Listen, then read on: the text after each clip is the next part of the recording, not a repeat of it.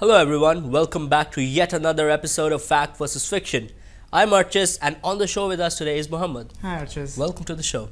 Friends, we're going to talk about a set of pictures that is being shared all over Facebook. And we're going to talk about them because of the claims which seem quite dubious. Now, let's have a look at these pictures, which show large groups of people rallying together, which sort of looks like a protest.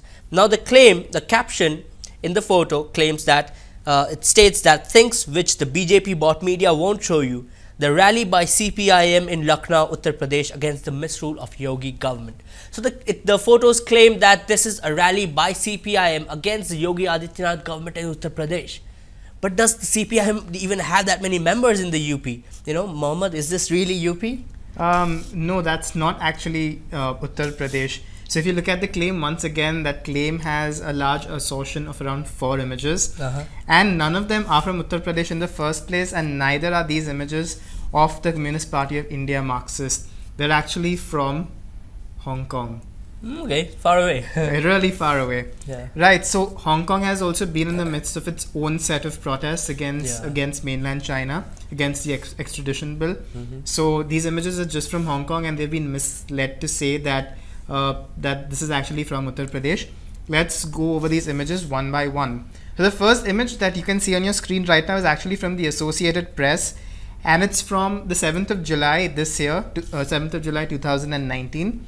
The second image is uh, from Bloomberg, and it was published in, a, in an article by them on June 16 this year.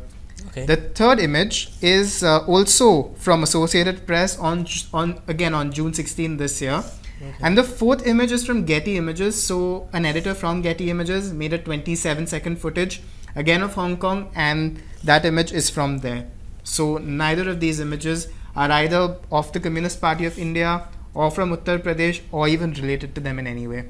So just another case of images taken out of context. you know, That's we have seen lots of this before, and if you spot such images going around, do not share it further. You know, if it casts doubts in your mind, you send it over to our WhatsApp number, helpline number that's flashing right below, and we can do the fact check just for you. Thank you for watching this episode. Have a good day.